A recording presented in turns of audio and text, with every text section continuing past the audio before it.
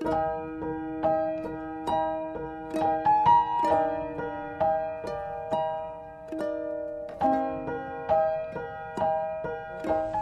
terima kasih untuk hari ini, untuk semua yang terbaik yang kau sudah berikan dalam hidup hambamu dan hidup setiap kami Tuhan. Terima kasih Bapak, kalau sebentar kami mau mendengar sebagian firmanmu, urapi bibir lidah hambamu, apa yang menjadi isi hatimu sampaikan Tuhan. Dan semua kemuliaan itu hanya kembali kepadamu di dalam nama Tuhan Yesus yang percaya berkata amin. Ya, shalom semuanya. Hari ini saya akan berkhotbah tentang jangan menjadi orang yang abu-abu dan suam-suam kuku ya. Itu sambungannya hari Selasa yang lalu ya.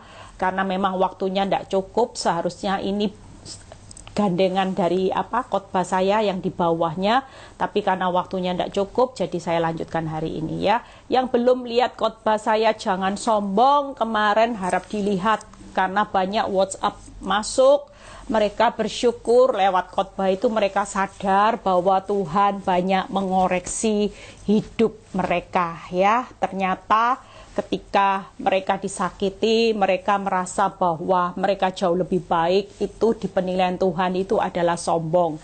Karena senyatanya setiap proses menurut kacamata Tuhan itu untuk membentuk kerendahan hati saudara. Kenapa? Karena Tuhan itu melihat hati ya. Yang lucu itu kalau banyak orang bicara dulu teman saya bicara seperti ini Eli kamu ini diproses Tuhan tidak main-main. Karena apa? Tuhan itu tidak mau kamu sombong. Karena menurut kacamata teman-teman saya saya itu pada waktu belum diproses saya itu di posisi yang terlalu nyaman. Ya semua suami cinta uang ada ya. Wajah ya tidak pas-pasan lah saudara ya dan di situ merasa bahwa kamu itu terlalu nyaman, terlalu enak. Makanya Tuhan proses itu habis-habisan. Dan teman saya bilang gini, nggak apa-apa, kamu kaya, kamu cantik, kamu dicintai mati suamimu sombong, nggak apa-apa. Ada ada loh dia sebut namanya si A itu loh sudah miskin sombong, wajahnya juga minim sombong. Nah itu lebih lebih keterlaluan. Tapi menurut Tuhan ya, nggak ada orang yang siapa pun kita hari ini, mau kaya, mau pas-pasan, mau wajah minim, mau wajah yang bagaimana cantiknya. Kita ini di pemandangan Tuhan seperti khotbah saya kemarin. Siapa saudara? Cuman debu loh saudara ya. Kita ini tidak ada artinya tanpa kasih sayang Bapak atas hidup kita. Cuman debu, cuman rumput, cuma bunga di bakung ya. Makanya kita hari ini bersyukur karena nilai kita sudah di-upgrade. Bukan jadi debu selamanya. Debu cuma sesaat. Nanti pada waktu Tuhan menyatakan kuasanya, kita juga akan hidup, dibangkitkan, hidup memerintah dalam kerajaan seribu tahun, kita hidup selama-lamanya. Ya, hari ini belajar seperti seorang Maria, walaupun ada aib, dia tidak tanya sama Tuhan, kenapa harus aku ngalami ini? Itu sombong. Mengapa harus aku yang ngalami? Kenapa aku sudah baik Tuhan izinkan petaka itu sombong. Tapi kita belajar jadi seorang Maria. Tuhan, aku ini cuman seorang hamba. Tahu cuman debu, cuman rumput, cuman bunga di bunga bakung lah kenapa mesti sombong? Ya lebih baik kita hari ini jadilah kehendakmu. Engkau mau aku punya kerendahan hati ya. Hari ini jangan usah panik ibu-ibu bapak-bapak juga yang join pada hari ini tidak usah panik menghadapi keadaan sulit. Kita kalau panik berarti apa saudara? Pikiran kita kita ini bakal ngalami satu keadaan yang terburuk Makanya hari ini alangkah jauh lebih baiknya. Ini tips loh saudara. Jangan main-main dengan kepanikan, ketakutan, kekhawatiran. Saya menyelidiki kenapa Tuhan itu paling sulit membuat mujizat, membuka jalan pada orang-orang yang panik, takut, khawatir. Karena Tuhan mengingatkan saya. Tuhan bilang gini, alangkah lebih baiknya anak-anakku hari ini hidup di dalam ketenangan, kepercayaan, dan pikiran pengharapan yang kuat. Karena ketika pikiran mereka tetap positif terhadap aku, maka jadilah menurut apa yang mereka pikirkan, aku akan melakukan jauh lebih banyak dari yang mereka pikirkan. Jujur kalau orang panik hari-hari ini apa saudara pikirannya pasti yang negatif. Pasti pikirannya hancur, terpuruk, kehilangan, kerugian besar.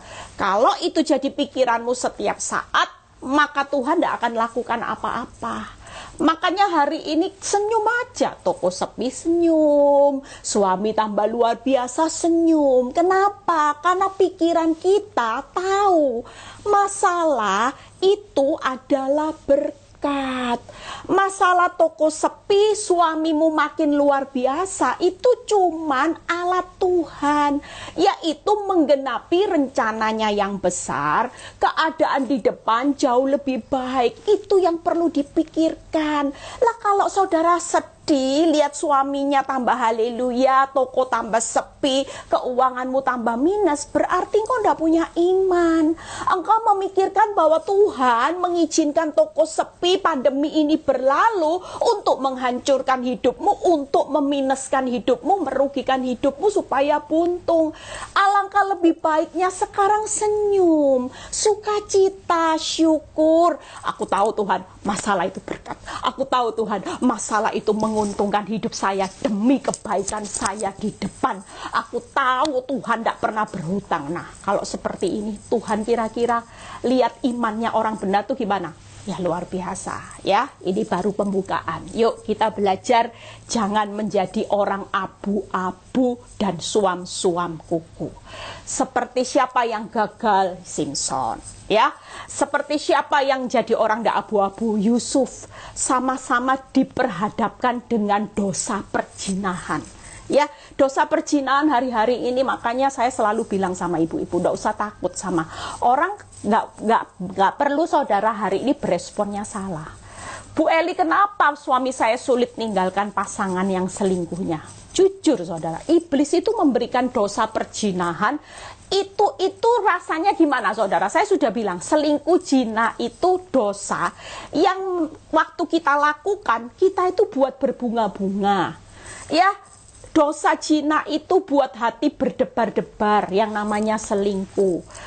Iblis itu bisa datang dengan berbagai macam kenikmatan di awal. Saudara tidak bisa nyalakan suamimu, tidak bisa nyalakan siapa pun pasangan hidupmu yang hari-hari ini lagi jatuh dalam perselingkuhan. Karena senyatanya ketika mereka penawaran iblis mereka terima, mereka akan merasakan masuk ke dalam apa? Enaknya, nyaman. Hati kalau ketemu selingkuhan itu sejuta rasa, berdebar-debar. Sementara ketemu saudara di rumah dimaki-maki, muka kayak kudanil. Iblis itu bisa menyamar lewat wanita selingkuhan dipijetin. Dibilang cantik, dibilang gini, aduh gantengnya, kokoku yang baik hati. Sementara kalau pulang ketemu saudara gimana? Itu itu sebabnya hari ini yuk kita berubah. Jangan lagi sebagai anak Tuhan kita mau jadi posisi abu-abu. Kalau suami baik, kantongnya lancar, saudara senyum. Tapi kalau suamimu selingkuh, suamimu pelit, suamimu KDRT, pasangan hidupmu menjengkelkan, saudara mulai berubah. Nah itu berarti saudara jadi anak Tuhan tidak konsisten. Saudara bisa konsisten baik ketika hasilnya baik. Sementara kalau hasilnya tidak baik, Tuhan bilang apa? Tetaplah berbuat baik, membalas kejahatannya tapi kita tidak bisa konsisten, kita tidak bisa tunduk, tidak bisa hormat terhadap pasangan kita yang selingkuh, yang mulai berubah, kantongnya mulai seret, yang mulai hari itu suka maki-maki, suka kebun binatang. Saudara tidak bisa seperti itu. Di pemandangan Tuhan, saudara jadi anak Tuhan itu suam-suam kuku. Saudara bukan jadi anak Tuhan yang konsisten dengan respon yang benar. Saudara jadi anak Tuhan yang hari itu apa saudara? Abu-abu. Bagaimana bagaimana respon kita hanya ditentukan oleh hasil, oleh keadaan yang di luar. Bukankah anak Tuhan responnya ditentukan karena saudara memang harus taat?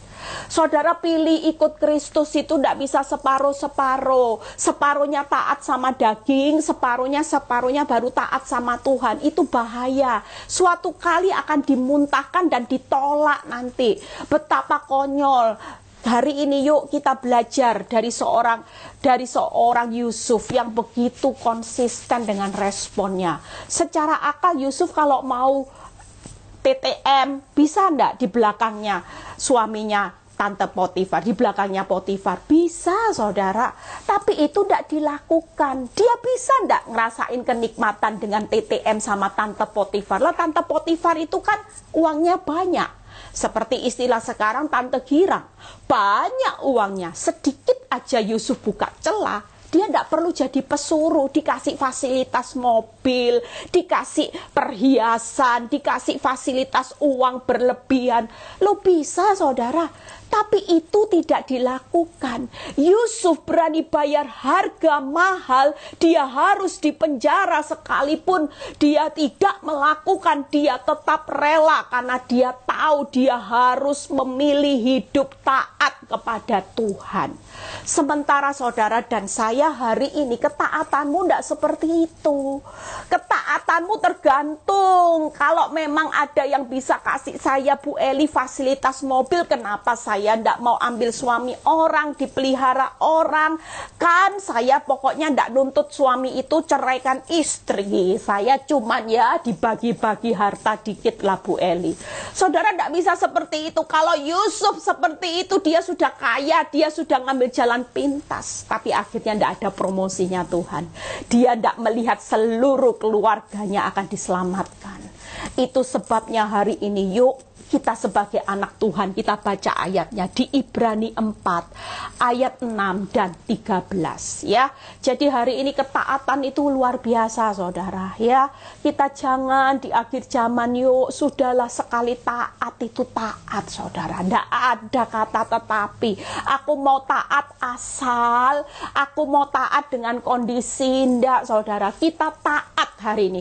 Makanya kalau saya ibu-ibu Bu Elis Wakit sudahlah sakit sakit, tapi kita ini mau milih bukan karena melayani suami. Kita hari ini menderita bukan buat suami. Kita menderita karena kita ini mau taat sama Tuhan. Kalau cerai ya bisa, tapi kan tidak taat saudara. Tidak hormat sama kedaulatannya Tuhan. Lah alangkah lebih baiknya kita belajar setia karena kita ini mau taat. Kita belajar hidup jujur, toko sepi tidak shortcut, karena kita mau taat. Kita tidak ambil hutang pinjaman online tabrak sana tabrak sini karena kita mau taat, yaitu apa? Kita mempercayai janji Tuhan. Kita mempercayai segala sesuatu ada waktunya Tuhan. Itu sebabnya di tengah pembentukan ini saudara taat. Waktu saudara taat, kita ini sedang dibentuk iman, karakter, dan apa? Hati kita sedang diasah saudara. Ibrani 4 ayat 6 dan 13. Yuk baca sama-sama. Ibrani 4 ayat 6 dan 13. Jadi sudah jelas bahwa ada sejumlah orang akan masuk ke tempat perhentian itu. Lihat ya. Jadi ada sejumlah orang tidak masuk berarti ke tempat pemberhentian itu, ke tempat di mana kita akan bertemu dengan Bapak di surga. Sedangkan mereka yang kepadanya lebih dahulu diberitakan kabar kesukaan itu tidak masuk. Lihat ya. Orang yang sudah dengar firman, itu pun firman Tuhan berkata tidak masuk karena apa saudara? Ketidaktaatan mereka dan tidak ada satu makhluk pun yang tersembunyi di hadapannya, sebab segala sesuatu telanjang dan terbuka di depan mata Tuhan, yang kepadanya kita harus memberikan tanggung jawab. Lihat ya, hari ini yang suam-suam kuku, yang abu-abu bertobatlah, bertobat.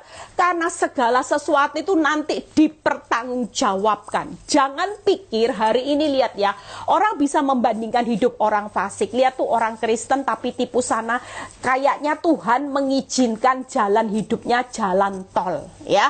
Saudara lihat ya, siapa pun saudara hari ini ngeri loh saudara. Kalau saudara hidup tidak taat, saudara itu cuma jadi debu kembali debu loh. Tidak ada kebangkitan, tidak ada kehidupan selamanya.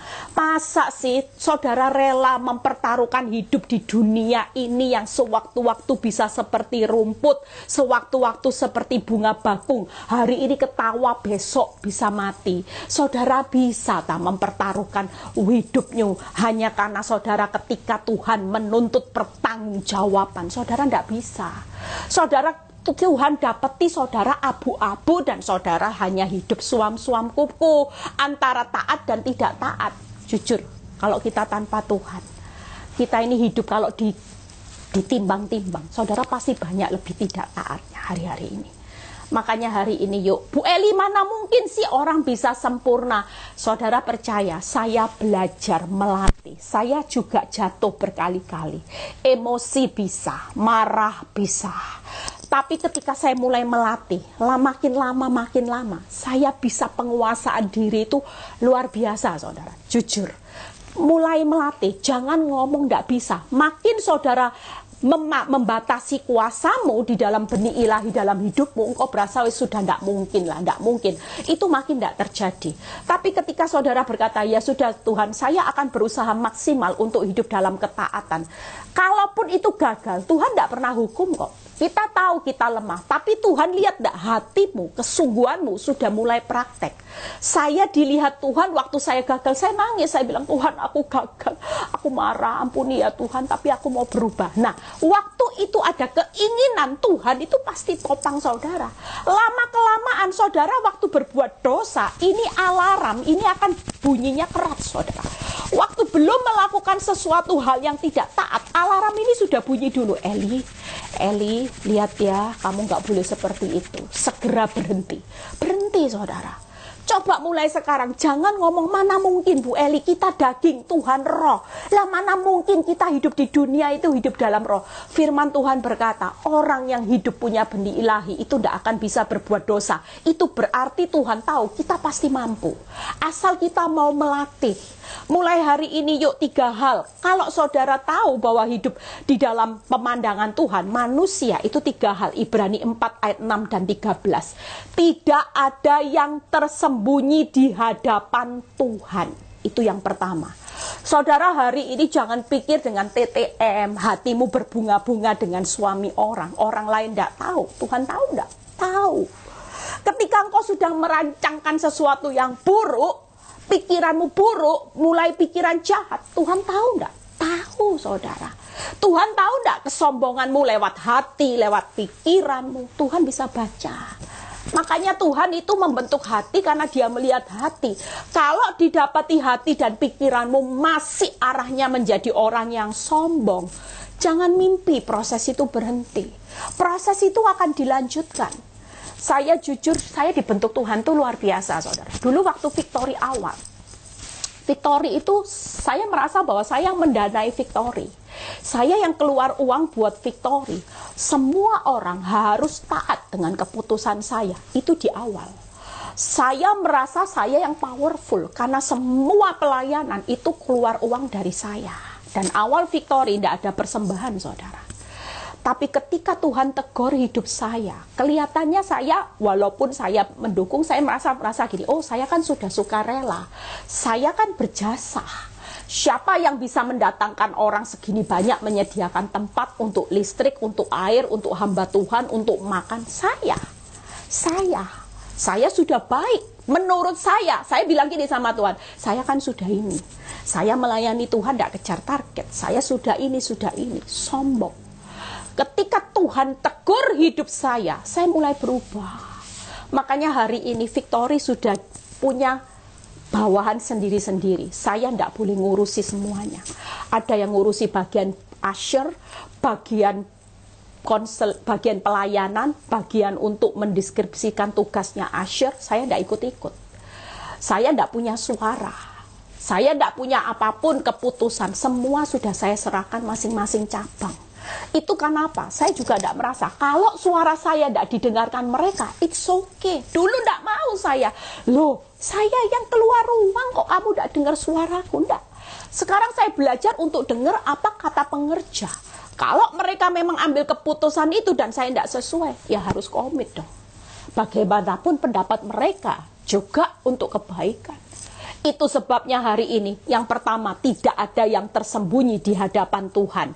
Yang kedua, segala sesuatu itu telanjang dan terbuka. Lihat ya, sudah tidak bisa disembunyikan loh dosa-dosa ketidaktaatanmu hari-hari ini.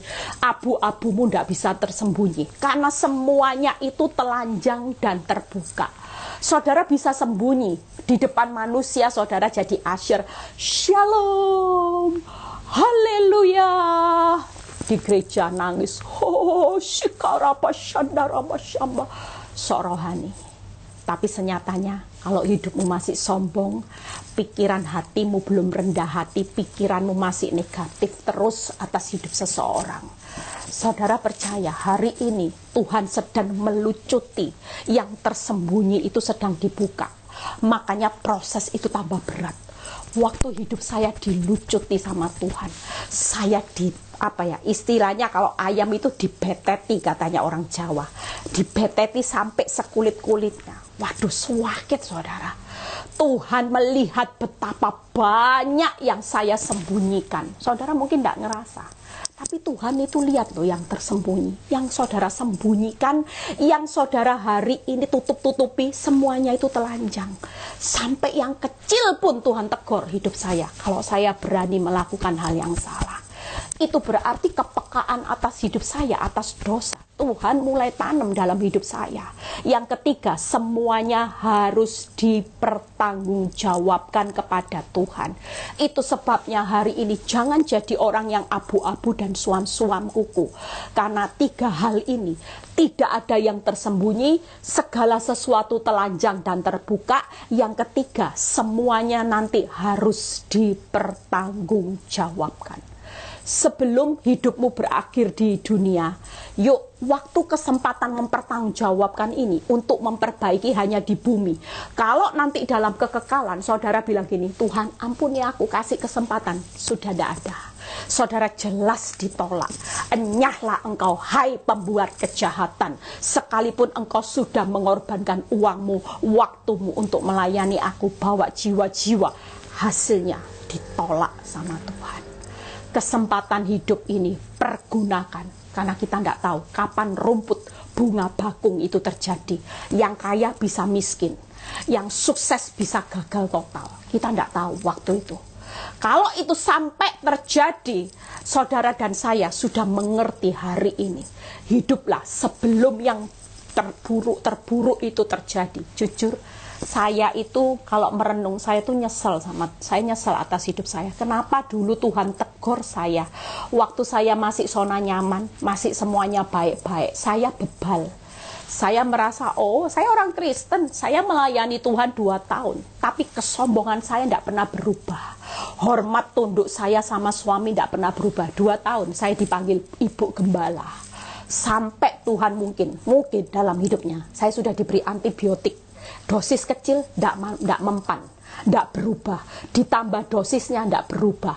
Tapi ketika dosis yang terbesar dari dicintai mati sampai benci mati, itu yang membuat saya berubah.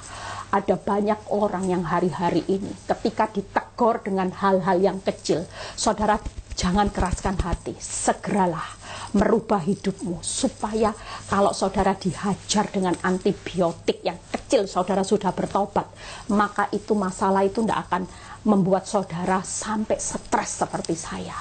Saya sampai stres saudara. Saya sampai kehilangan rasa percaya diri saya. Sampai saya hari itu depresi luar biasa. Tapi ternyata obat antibiotik yang membuat saya hari itu hidup saya seperti rumput benar-benar. Cinta mati benci mati itu membuat saya berubah. Membuat saya sehat rohani saya. Membuat saya hidup hari ini dipakai Tuhan. Hidup bukan panggilan dunia sosialita tapi panggilan surgawi. Jadi hamba Tuhan jadi berkat buat banyak orang. Itu sebabnya Yuk, sebelum itu terjadi, saudara jangan nyalahkan Tuhan. Hidup saudara pasti sudah dikasih teguran kecil-kecil, kecil-kecil. Kalau itu ndak saudara hiraukan. Semuanya itu terbuka. Saudara tidak bisa bilang gini, aku kan sudah pelayanan. Yang penting aku sudah jadi asher. Tapi suam-suamku hidup dalam abu-abu, aku jalankan. Lihat, kita tidak bisa nyalakan Tuhan karena Tuhan itu sepet, apa ya matanya yang namanya saudara terbuka jadi orang munafik KW KW itu tidak tidak bisa. Tuhan tuh tidak tahan lihat anak-anak Tuhan yang penuh imitasi. Karena semuanya itu yang tersembunyi dia tahu yang saudara sembunyikan yang saudara tutup-tutupi selama ini manusia tidak tahu Tuhan tahu makanya Tuhan sebel Tuhan itu tidak bangga dengan uangmu Tuhan tidak bangga ketika saya menyumbangkan uang untuk buka victory, semuanya saya yang menyediakan, semua orang cuma tinggal datang, duduk, dengar firman, makan pulang. Saya penyedia. Apakah Tuhan bangga dengan hidup saya? Tidak. Tuhan tidak pernah bangga dengan pelayanan saya, dengan uang saya, dengan kelebihan kecantikan saya. Semua yang sudah saya lakukan, Tuhan tidak pernah bangga. Tapi justru Tuhan bangga hari ini ketika hidup saya sudah dihajar dengan antibiotik yang super-super buat saya tobat, saudara. Tobat ketika hidup saya dibawa seperti rumput dalam rumah tangga saya. Itu sebabnya yuk kita bahas tiga hal. Bagaimana tidak ada yang tersembunyi di hadapan Tuhan. Ya, hari ini tiga hal itu membuat saudara hari ini belajarlah untuk melatih ketaatan. Jangan belum-belum sudah bilang tidak mungkin, tidak mungkin. Saya dulu belajar, dulu saya bilang tidak mungkin. Tapi ketika saya melatih daging saya, saya matikan. Penguasaan diri saya hari ini luar biasa, saudara. Saya punya kepekaan akan teguran Tuhan lewat suaranya. Saya mulai banyak dengar apa yang Tuhan mau dalam hidup saya. Sampai saya uh, apa namanya firman-firman Tuhan yang Tuhan tegur dalam hidup saya itu tepat saudara. Itu karena apa? Karena Tuhan mulai percaya buat hidup saya. Yuk kita baca Ibrani 12 ayat 5b sampai 6. Ibrani 12 ayat 5b sampai 6. Hai anakku, janganlah anggap enteng ya. Lihat ya didikan Tuhan, lihat ya, jangan putus asa apabila engkau diperingatkannya. Karena Tuhan menghajar orang yang dikasihinya dan ia menyesah orang yang diakuinya sebagai anak. Kalau hari ini engkau dikasih antibiotik yang tinggi sampai saudara bilang, ampun sakit Tuhan sakit, tambah hari tambah sakit. Kira-kira saudara diperlakukan sebagai budak, diperlakukan sebagai orang hukuman, orang penjara, atau saudara diperlakukan sebagai anak yang dikasihi. Jelas karena kasih sayang Bapak dia pingin anaknya yang dikasihi untuk dia tidak kehilangan kelak. Bapak itu tidak kepingin kehilangan anaknya. Dia kepingin saudara hidup selama-lamanya bersama dia. Hari ini tiga hal. Hari ini yuk kalau tidak ada yang tersembunyi di hadapan Tuhan, saudara sedang mengalami proses yang begitu berat. Itu bukan untuk menghancurkan hidupmu. Sekali lagi, proses yang berlanjut dan begitu berat tekanannya makin hari itu berarti bukan menghancurkan hidupmu tapi menghancurkan semua ketidaktaatan kedaginganmu yang engkau sembunyikan selama ini, yang engkau tutup-tutupi. Engkau merasa aku sudah ini, sudah itu, termasuk kesombongan seperti khotbah saya kemarin. Itu yang sedang Tuhan hancurkan. Jadi jangan anggap enteng didikan Tuhan. Apa jangan anggap enteng didikan Tuhan? Jangan berontak hari ini. Kalau prosesmu makin berat, mengucap syukurlah. Yang penting yaitu tadi, makin dijahati, makin baik. Itu orang yang gak berontak. Orang yang rendah hati akan seperti itu. Karena dalam prinsipnya dia mau taat Jangan pernah kalah dengan kejahatan pelakor. Jangan pernah kalah dengan kejahatan suami atau istrimu yang selingkuh. Jangan pernah kalah dengan usaha tokomu yang sepi sehingga itu mengendalikan responmu yang salah. Hari ini saya bilang sama ibu-ibu, Ibu-ibu tadi pagi sudah ada yang curhat. Bu Eli, pelakor itu Bu Eli sudah posting-posting Bu Eli fotonya Bu Eli. Dia habis melahirkan anak dia bangga Bu Eli. Ketawa-ketawa sambil berkata, oh anugerah Tuhan. Sudahlah, ndak usah marah sama debu. Ndak usah marah sama bunga rumput. Mereka lo cuman debu. Masa kamu kalah sih sama debu? Kita kan anak Allah sudah mereka mau bangga, dibeliin mobil, rumah mewah, mau disayang. Ingat loh, mereka kalau tidak bertobat dari debu kembali menjadi debu selama-lamanya. Tanah yang diinjak-injak orang, tanah kuburan. Ingat ya, ingat saudara. Tapi buat saudara dan saya pastikan jangan kepancing emosi sehingga saudara tidak taat. Nanti nasib saudara juga menjadi debu selamanya karena ditolak sama Tuhan. Lah kita kan tidak mau saudara hari ini yuk sudah akhir zaman.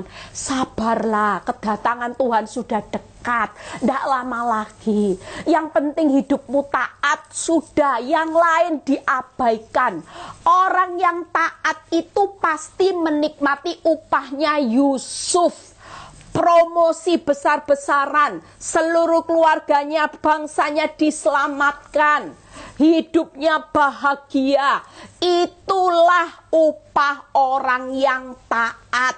Lihat ya, Simpson gagal dengan wanita pesundal, ya hidupnya abu-abu. Siapa lagi? Adam dan Hawa karena tidak taat diusir dari Taman Eden. Lak Saul, lak kita hari ini yuk milih aja. Seperti seorang Daud yang berkenan di hatinya Tuhan karena dia taat akan kehendak Tuhan. Hari ini taat bukan hanya respon, taat juga atas kehendak Tuhan. Menderita, tidak apa-apa. Kalau memang itu kehendak Tuhan, dia lagi genapi rencananya karena seperti saya dan saudara jadi alat peraga. Supaya lewat proses hidupmu, orang itu lihat kemuliaan Tuhan. Masa saudara jadi alat peraganya Tuhan tidak mau? Saudara marah sama Tuhan. Sudahlah, sutradara itu sudah tahu jalan cerita hidupmu. Endingnya pasti happy. Sudahlah, yakin kalau sama bapak yang begitu sayang sama anaknya. Tidak mungkin jalan hidupmu. Sekalipun hari ini Bu Eli hancur-hancuran, kacau balau. Sudah tidak lihat jalan keluar. Tidak mungkin seperti bapak sayang kepada anaknya. Dia akan sayang atas hidup saudara dan akhir hidup saudara skenario-nya. Happy ending. Tidak mungkin set ending. Itu aja yang membuat jaminan saudara segala sesuatu akan dibuat indah pada waktunya. Saudara dan saya akan keluar lebih dari pemenang. Jika Tuhan di pihak saudara, siapa lawan saudara? Amin. Yuk kita lihat hari ini. Jadi jangan anggap enteng didikan Tuhan. Yang kedua, ya, lihat Janganlah putus asa apabila engkau diperingatkan. Kalau hari ini diingatkan lewat hamba Tuhan, lewat khotbah, hari ini engkau sudah diingatkan sabar, sukacita lakukan. Sudahlah jangan putus asa. Masalahmu makin berat, tidak usah putus asa. Jangan bebal. Kalau Tuhan ingatkan ampuni nak, jangan nuntut surat cerai ampuni nak. Seperti kemarin uh, kesaksian Bu NN ya. Kesaksian siapa? Yang di KDRT secara akal kepingin dilaporkan tapi ketika Tuhan ingatkan sadarkan jangan dilaporkan. Ampuni sudah. Ya sudah. Taat saudara. Suruh ngampuni tidak ada batas. Taat. Jangan bebal. Jangan putus asa akan peringatannya. Itu jangan bebal. Yang pertama jangan berontak. Jangan bebal. Jangan anggap enteng didikan Tuhan. Jangan putus putus asa akan peringatannya. Yang ketiga, jangan pernah menyerah saat dihajar. Itu Wahyu 3 ayat 19 kita baca. Yuk. Barang siapa, Wahyu 3 ayat 19. Barang siapa ku kasihi, ia ku tegor dan ku hajar. Sebab itu, relakan hatimu dan bertobatlah. Makanya tiga hal hari ini, jangan anggap enteng didikan Tuhan. Jangan putus asa atas peringatannya. Yang ketiga, jangan menyerah saat dihajar. tapi relakan hatimu dan bertobatlah. Ada banyak anak Tuhan, jujur, rela dikhianati suami sampai menikah. Iya Bu Eli rela, tapi tidak ada pertobatan. Cuma rela, rela tokonya sepi, iya, tapi tidak ada pertobatan. Hidupnya ya suka maki-maki orang, suka berpikir negatif, hidupnya juga hidup dalam kepahitan. Lah saudara, relakan hatimu itu harus ada pertobatan. Tidak bisa saudara hari ini saat dihajar masalah cuman bilang gini ya wes lah Tuhan aku rela kok suamiku mengkhianati aku ada perempuan pelakor ya sudah wanita tobat ya sudah aku rela rugi. Tapi saudara tidak bertobat, cuman rela. Kira-kira saudara lihat tidak jalan keluarnya? Kira-kira Tuhan itu mengizinkan prosesnya dilanjutkan tidak? Kalau saudara cuman rela, tidak ada pertobatan, saudara cuman jadi orang di pemandangan Tuhan abu-abu suam-suam kuku. Itu sebabnya Tuhan tambahi lagi prosesnya. Dikasih antibiotiknya seperti saya. Waktu awal saya juga rela, tapi pertobatannya tidak ada. Saya tunggu bukti baik, baru saya bertobat. Ya, ngampuni. Tapi waktu buktinya buruk, saya nggak bisa ngampuni. Saya maki-maki suami saya. Saya arah jarinya, kamu ya, kamu ya, kamu buat hidupku susah sama anak-anak. Kamu memang tega, kamu jahat, kamu ini, kamu ini. Itu yang saya lakukan dulu.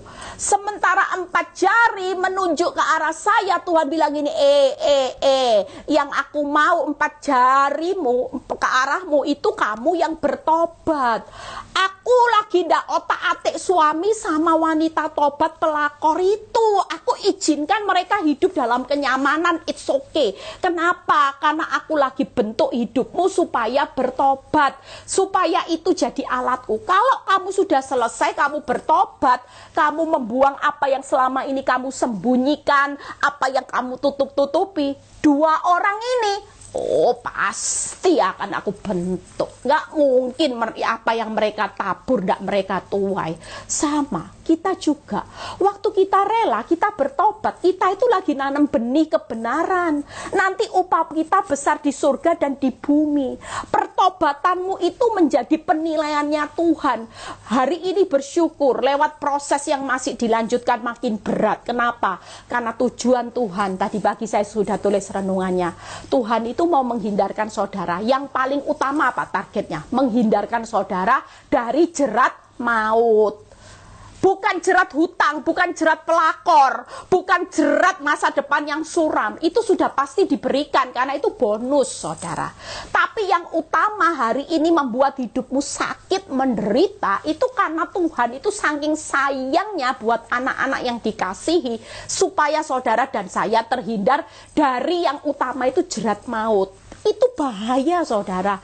Itu bisa fatal selama-lamanya. Kalau masalah pelakor itu cuma di dunia sesaat.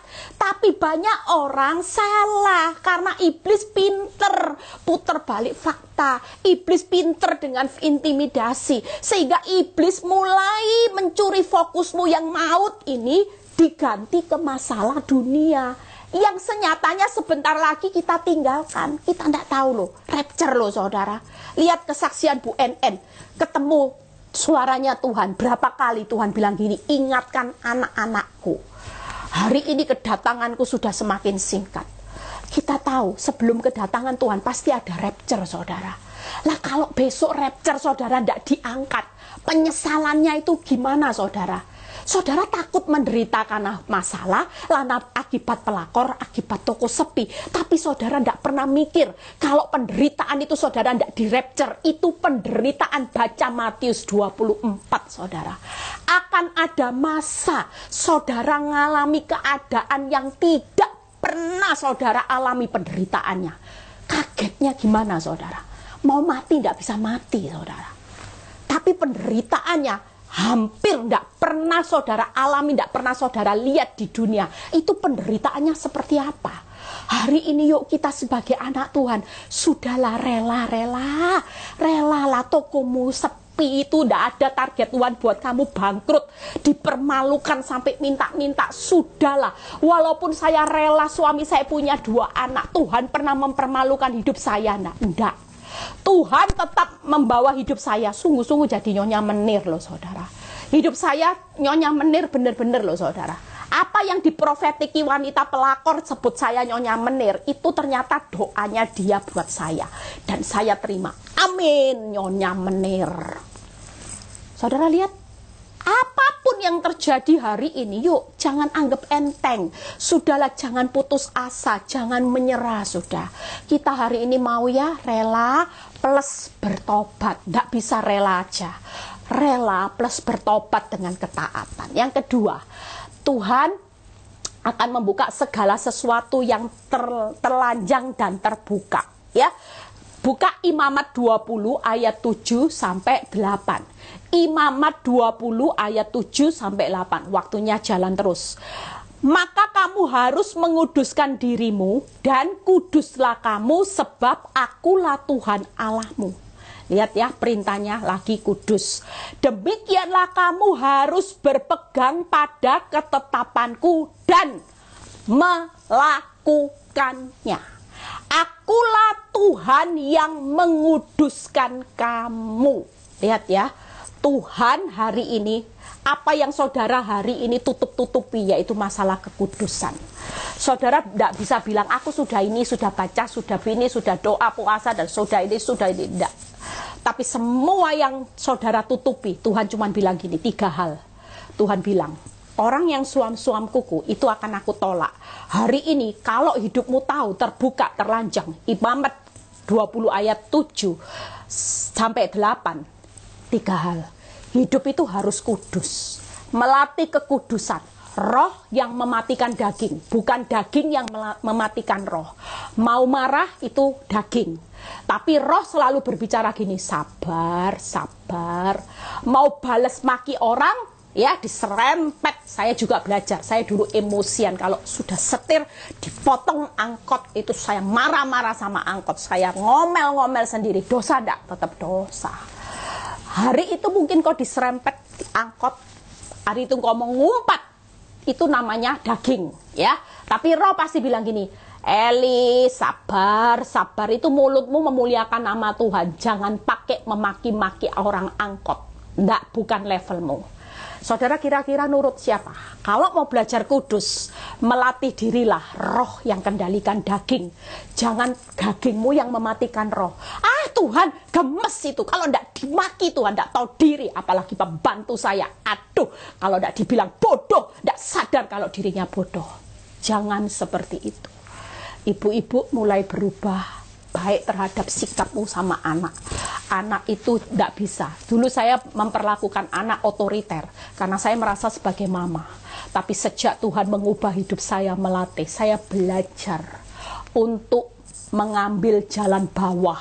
Artinya waktu mereka emosi saya belajar diam dulu. Saya tidak bantah.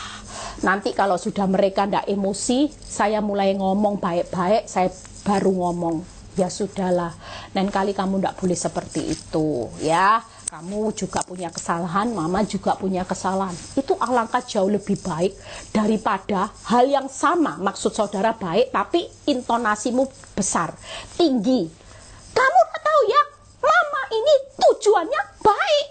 Didik kamu jadi anak punya masa depan. Alangkah lebih baiknya hari ini kita belajar ngomong yang sama tapi intonasinya ndak usah pakai emosi. Segala sesuatu bisa dikendalikan, ya. Yang kedua, hidup harus berpegang pada ketetapan Tuhan, ya. Ketetapan Tuhan hari-hari ini apa, Saudara? Rela, jalannya Tuhan tuh pikul salib sangkal diri ya sudah kalau ikut Kristus nggak usah ngomong saya jujur ditanya orang Bu Eli kalau ikut Kristus itu pikul salib sangkal diri seumur hidup gimana kan menderita enggak sukacita Tuhan penghiburan Tuhan tuh luar biasa. Makanya saya bilang saya dibawa Tuhan nyonya menir itu sungguh saudara. Ya orang bilang katanya saya imunnya tinggi itu karena OTG. Lah saya bilang gini lah selama saya pandemi loh Tuhan kasih saya penghiburan traveling terus kok. Nggak pernah ada di rumah. Jalan-jalan dibawa ke Bali, ke Amerika, ke mana, ke Jakarta, ke Bandung. Lah tiap kali naik pesawat kan saya harus dites. PCR iya, yang namanya antigen iya. Lah hasilnya nggak pernah positif kok. Saya percaya karena Tuhan itu melihat bagaimana hati saya. Saya percaya ya, saya tidak mencobai Tuhan Allah, saya tidak pakai masker, wow mentang-mentang, tidak saudara, tetap protokol kesehatan ya. Cuci tangan, jaga imun, minum vitamin, tidur tidur cukup, makan ya cukup, itu aja ya. Yuk yang ketiga, jadi gimana hal ini akan memberi saudara dan saya yang ketiga pertanggungjawaban. Yang tadi telanjang dan terbuka hidup harus kudus, yang kedua hidup harus berpegang pada ketetapan Tuhan, sangkal diri ya iya, mengampuni tanpa batas iya, mengasihi tanpa syarat itu ciri orang yang taat. Kalau mengampuni hitung-hitungan nanti masuk abu-abu, masuk orang suam-suam kuku, mengasihi dengan syarat juga termasuk orang abu-abu. Sudahlah, bonusnya Tuhan tuh nikmat kok saudara. Sungguh Tuhan tuh tidak pernah berhutang itu sungguh loh saudara. Waktu saudara taat dia itu lebih setia, dia itu lebih luar biasa atas hidupmu karena dia tidak mau berhutang. Itu sebabnya yang ketiga, hidup harus melakukan firman Tuhan. Itu tadi, selain belajar ketetapan Tuhan, rela, yaitu melakukan itu tadi, bertobat, dilakukan praktek. Yang terakhir, ya. Tiga hal ini akan memberi apa? Imamat 18 ayat 5, ya tiga hal. Nanti yang terakhir aja kita buka dulu. Semuanya harus dipertanggungjawabkan. Waktunya takut saya tidak nutut. Yesaya 48 ayat 17 sampai 19. Ini kita lihat hasilnya luar biasa kalau orang taat. Yesaya 48 ayat 17 sampai 19. Bagaimana semuanya harus dipertanggungjawabkan. Beginilah firman Tuhan penebusmu yang maha kudus Allah Israel. Akulah Tuhan Allahmu yang mengajar engkau tentang apa yang memberi faedah. Faedah itu keuntungan. Yang menuntun engkau di jalan yang harus kau tempuh. 18 lihat ya.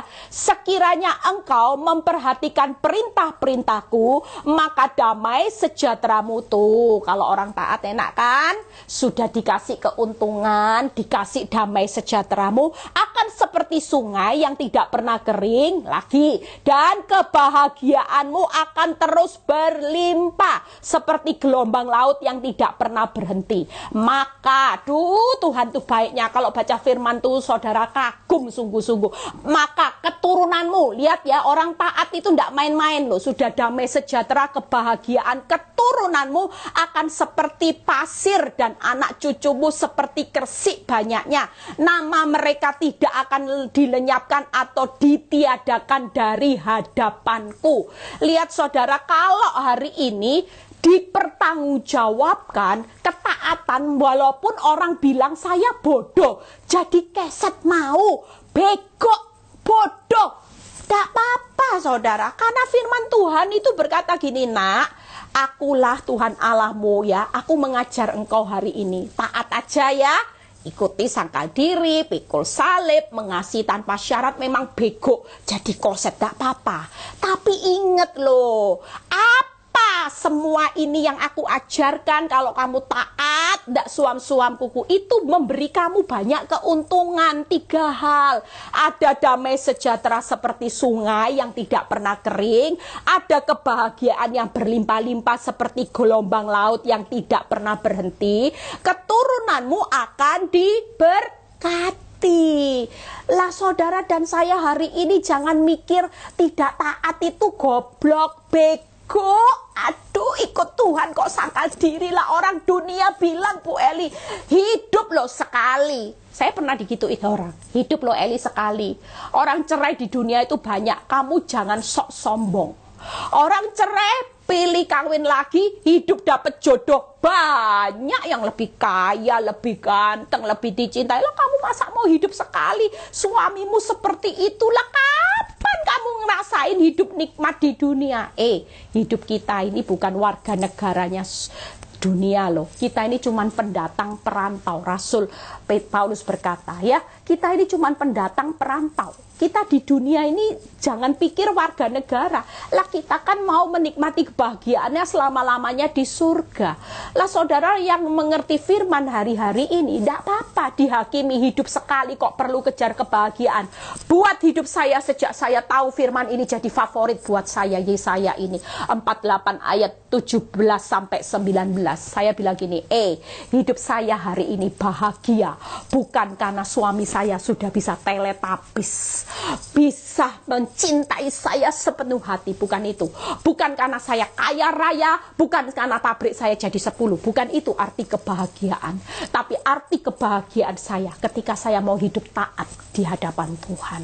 Waktu saya tetap taat hidup seperti yang Tuhan mau. Dia ajar saya, dihajar. Saya bilang, oke okay, Tuhan, rela bertobat maka di situ senyatanya kehidupan yang berbahagia. Saya sudah menyimpan banyak hal, yaitu apa? Damai sejahtera, kebahagiaan sampai keturunan saya diberkati.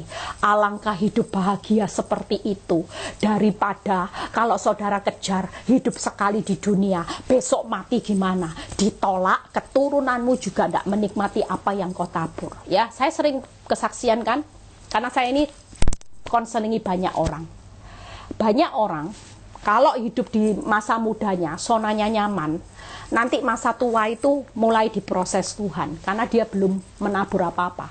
Tapi kalau sudah dari masa muda diproses dan dia taat, saya melihat banyak orang keturunannya diberkati. Cari jodoh enteng jodoh, cari berkat enteng berkat. Kenapa? Karena Tuhan sudah perhitungkan taburan orang tuanya. Tuhan tidak pernah bisa membatalkan janjinya. Setiap taburan orang benar itu keturunan. Nah kalau saudara hidup masa muda cuman bisa kejar hidup sekali, nikmati egois saudara. Egois saudara tidak mem memperhatikan keturunanmu yang hari ini kau tabur hanyalah taburanmu sampah taburanmu benihnya iblis, taburanmu bukan benih kebenaran. Engkau tidak meninggalkan warisan abadi buat anak cucumu. Hari ini ketika saya mengerti firman, saya pegang ayat ini. Makanya orang kalau bilang lah Bu Eli ikut Kristus kok susah. Pikul salib sangkal diri seumur hidup Bu Eli. Ya harus. Lah namanya iblis di dunia ini berusaha menjatuhkan hidupmu. Kalau engkau tidak berjaga-jaga dengan pikul salib sangkal diri itu rem loh saudara kalau saudara dikasih nyaman-nyaman-nyaman, enak dicintai, berkat kaya melimpah, dagingmu akan kembali lagi dominan, rohmu redup. Itu sebabnya bahaya buat hidupmu. Tidak apa-apa. Masalah satu selesai nanti ada proses berikutnya namanya hidup. Iblis aja mundur sesaat cari waktu yang tepat untuk mencobai saudara. Lah saudara tidak mau berjaga-jaga. Iblis ada terus ngamat-ngamati saudara. Oh oke okay, hari ini kau pulih aku mundur ya. Mundur tapi awas aku tidak akan pernah selesai selama hidupmu di dunia. Lah saudara mau selesai sama Tuhan. Kira-kira saudara bisa tidak hidup, menjalani hidup sampai akhir jadi pemenang? Tidak bisa. Saya ngucap syukur sama Tuhan. Sampai hari ini Tuhan masih izinkan ada banyak, ada beberapa proses yang masih harus saya jalani. Nggak apa-apa. Itu buat hidup saya semakin sehat. Nilai hidup saya semakin di-upgrade. Yang namanya kecantikan batinia saya semakin dipercantik, lahiria saya merosot, nggak masalah saudara. Karena pada akhirnya lahiria itu jadi debu Batinia itu yang akan dibawa kekal selama-lamanya. Itu sebabnya hari ini yuk sebagai anak Tuhan ya kita mau membangun hidup secara roh. Jangan hari ini jadi orang abu-abu, jangan hari ini jadi orang yang tidak taat suam-suam kuku ya. Lihat Imamat 18 ayat 5 ayat terakhir. Imamat 18 ayat 5. Sesungguhnya kamu harus berpegang pada ketetapanku dan peraturanku. Orang yang melakukan akan hidup karenanya. Lihat ya, akulah Tuhan. Ini surat cintanya Tuhan sama saudara. Sampai ditulis akulah Tuhan ya. Kalau tulis surat cinta kan gini. Dari terakhirnya from Eli. Ini sampai ditulis akulah Tuhan. Ketika saudara hidup dengan ketaatanmu, percayalah Tuhan sudah tulis surat cintanya buat saudara. Orang yang melakukannya akan hidup karenanya. Karena taat ini tadi loh, tidak main-main. Orang taat menikmati damai, kebahagiaan sampai keturunan. Ya, jadi hidupmu hari ini terbuka, telanjang, segala sesuatu harus dipertanggungjawabkan. Makanya hidup harus kudus, harus berpegang pada ketetapan Tuhan dan lakukan firman. Jangan jadi suam-suam kuku. Tuhan Yesus memberkati, happy weekend semuanya. Tetap semangat menjelang akhir zaman Tuhan sudah tidak lama lagi. Rapture bisa terjadi sewaktu-waktu. Jangan pertaruhkan hanya kejar nikmat nyaman kaya di dunia. Tapi engkau tidak terangkat. Saya berdoa buat semua jemaat PD Victory semua yang tergabung di dalam online saya akan terangkat rapture bersama-sama sehingga kita reuni akbar di surga. Tuhan Yesus memberkati. Bapak, terima kasih hambamu sudah selesai menyampaikan kebenaran firmanmu. Kami percaya bahwa hari-hari ini menjelang kedatanganmu sebagai sang mempelai. Engkau sedang mendandani kami sebagai mempelai yang dipercantik luar biasa. Engkau tidak mau mendapati yang dipercantik hanya lahiria kami. Tapi Tuhan mau batinia kami yang menjadi sasaran fokusnya Tuhan. Terima kasih Tuhan kami tidak mau jadi orang suam-suam kuku. Kami tidak mau jadi orang abu-abu. Belajar untuk taat. Kami tidak akan anggap enteng didikan Tuhan. Kami tidak akan putus asa jika engkau memperingatkan. Dan kami tidak akan pernah menyerah jika hajaran itu bertambah sakit. Karena semuanya mendatangkan kebaikan. Yang sakit sembuhkan, yang ngalah mengalami masalah rumah tangga pulihkan, keuangan berkati, berkati bangsa negara kami. Angkat kedua tangan saudara, terimalah berkat Abraham, Ishak, Yakub, damai sejahtera Allah Bapa, Putra dan Roh Kudus menyertai saudara dan saya mulai saat ini sampai Maranatha Tuhan Yesus datang kedua kali yang diberkati percaya berkata amin. God bless, happy weekend. Jangan lupa kalau diberkati dengan khotbah siapa pun hamba Tuhan kasih orang lain. Itu sudah marketing jiwa ya. Tuhan Yesus berkati. Thank you.